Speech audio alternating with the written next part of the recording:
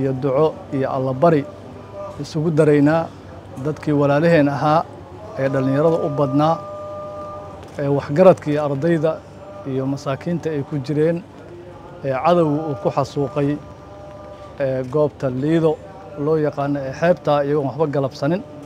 Waxaan ilaahay oga baryaynaa inuu naxariistii janno siiyo.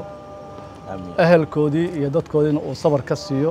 Annagana gadaashood aanu na fidnaynin sidoo kale waxaan ilaahay uga baryaynaa kuwa dhaawacmay ama uu dhibka soo gaari ilaahay u boogadhayo dhaqso u bogsiiyo dhib dambena inaanu ilaahay subxaanahu wa tacaala inoo celinin. Maanta waxaa kulan isugu yimid guddiga loo xil saaray gurmadka dadka ku waxyeeloobay dhacdadii foosha xumayd ee dhacday labadii agosto. Guddigaas waxa uu ka kooban yahay xubno isugu jira madaxda dowladda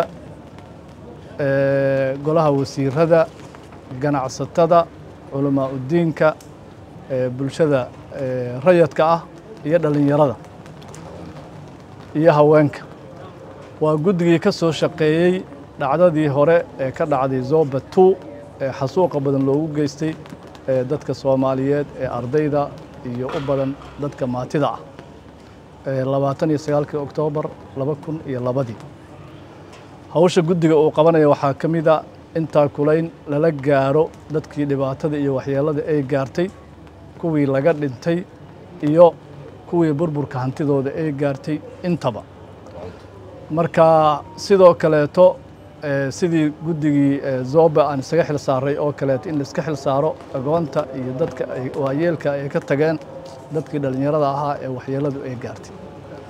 Marka maanta kulanku waxa uu ku saabsanaa in ganacsatada bulshada rayadka ah culamaa udiinka haweenka iyo dhallinyaradu iyo dadweynaha soomaaliyeed iska kaashadaan in loo aruuriyo wixii tabarucaada ee la heli karo marka waxaan dadweynaha soomaaliyeed ugu baaqaynaa ciddii suuragal ay u tahay ee wax u sahasha inay bixiso wixii suuragal u ah waana meesha aanu ku faafinay akauntiyada bangiyada ay leeyihiin.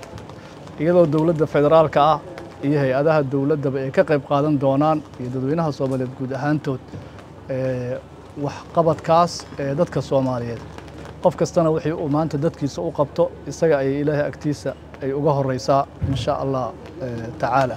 Internet balas waa adeeg ay macaamiishu ka heli karaan internet fiber ah oo xawaarihiisu yahay labaatan megabytes ber second ayna la socdaan rasiifar ay ku jiraan in ka badan afar kun oo kanaal iyo boqolaal daqiiqado oo ah ku hadal bilaash ah